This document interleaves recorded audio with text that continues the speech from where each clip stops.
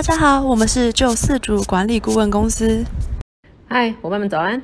我们拿到一个新的委托案，这是一家来自巴西的新型态电商，叫做 Allist。商业模式很特别，需要借重各位数据分析的常才来帮他看看，在经营策略上面有没有什么可以改善的地方。这些是 Allist 的营销数据资料，请各位回去好好的研究分析。下礼拜三的会议提出报告。来，我们开始开会。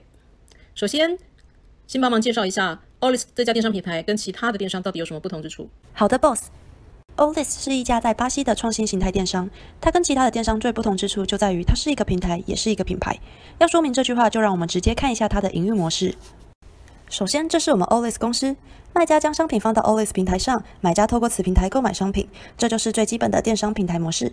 然而，Olis 最特别之处就在于它会为他们平台的卖家们寻找更广大的出入。Olist 会与巴西其他大型通路，像是大型量贩店的家乐福、大型电商的 Amazon 合作，成为一个品牌，带着众多小卖家的商品进入之。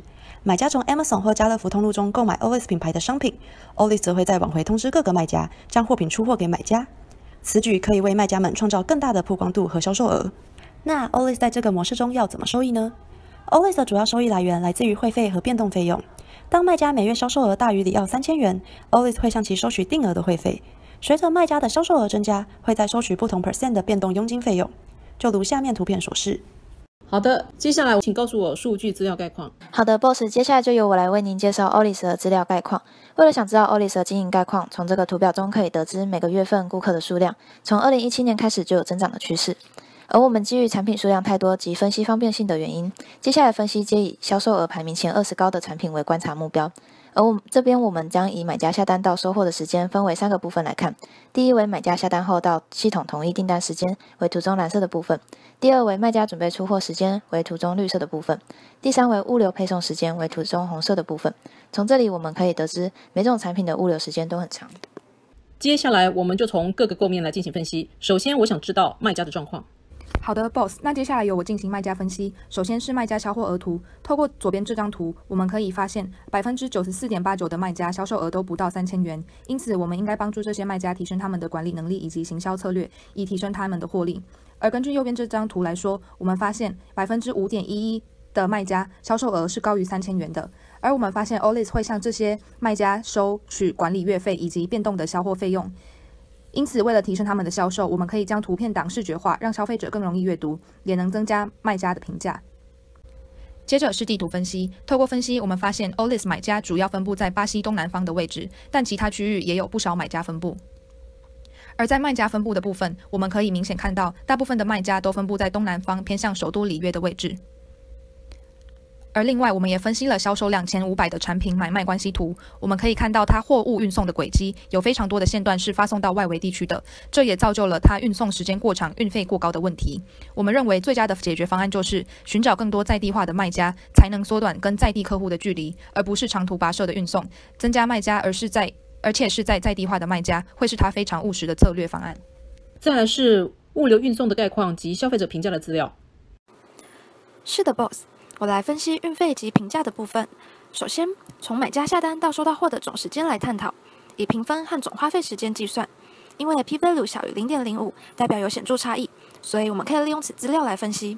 来看相关系数，可以发现它的绝对值在零点三左右，表示资料具有代表性，并且资料呈现负相关，代表总花费时间越长，买家给予的评价越低。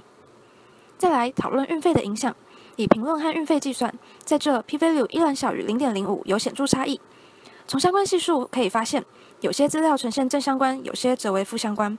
而因相关系数的绝对值小于零点三，表示资料较不具有代表性，所以运费高低对于买家给予的评价没有那么有影响。接下来我想知道一下 Allist 的产品面的资料状况，请分析。好的，Boss。那我这边跟您分析产品的部分。首先这一张热图，我们是将销售额前二十名的产品做正规化后，来看该产品卖的最好的地区。然而这一张图因为大部分的交易都发生在圣保罗，所以受到这个因素的影响，产生一点误差。因此我们将产品和地区都正正规化，做出第二张热图。那我们可以看到红色的部分就是该产品在该地区卖的很好的。再来，我们将全部的产品进行尺度缩减，想要找出它们的相关性。我们所采用的标准则是用中间这些黑色箭头作为指标，进而分成五群。结果就如这张图做标示，五群则以不同的颜色来做呈现。图中可以看出，手表自自己一群，冷气和手工艺品则可分为一群，另外则是游戏机、手机和家具则可分为一群，其他两群则包含了很多产品别。最后，我们有做了月份级评价分析。图中的 N 所指的是评分小于三的评论数有几个，因此可以从图中发现，从二零一六年到二零一八年是逐渐增加的。然而，在二零一八年初，则是低评分的高峰期。最后，还有没有什么事情需要补充的呢？报告 Boss。我们根据销售额发有发现一个大问题。我们从这个动态套号图可以看出一个趋势：从二零一八年三月后，整体的销售量和营收都大幅的下降了。这边我探讨一下巴西当时的情况是什么？原因可能是因为巴西嘉年华举办在三月，是否在三月时有举办活动，导致四月后的营收下降呢？且从评论可以看出负评增加的趋势，因此猜想是否是后勤支援不上，或者是服务品质下降这样子造成的呢？嗯，经过大家的资料分析之后，我们对 Allist 的状况呢更清楚了。接下来就让我们一起来给 Olist 一个经营策略上面的建议吧。根据以上分析，我们可以归纳出三个重要的策略。策略一，Olist 要加快获利速度。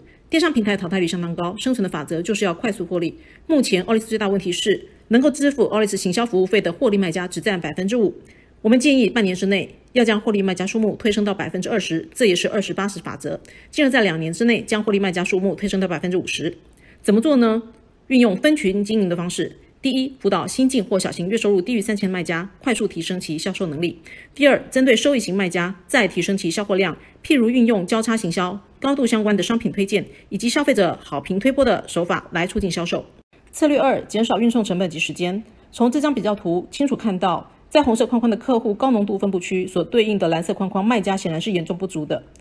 各位知道巴西有多大吗？东西长四千五百公里，南北长两千七百公里，因此从卖家到买家的长途跋涉物流显然是有问题的。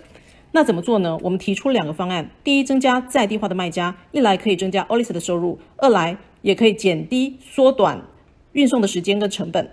第二个方案是垂直整合，成立自己的物流公司，专责运送自家货物，不必跟别人的物流公司排队等候运送。而有自己的物流公司之后，也可以施法 Amazon 针对 Premium 的会员当日到货。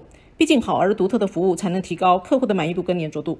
策略三，提升热销期的应变能力。从之前的分析发现，在二零一八年三月巴西嘉年华会的热销期过后，整个负评提升，显然是后勤资源没有跟上，或是卖家的负荷也超量。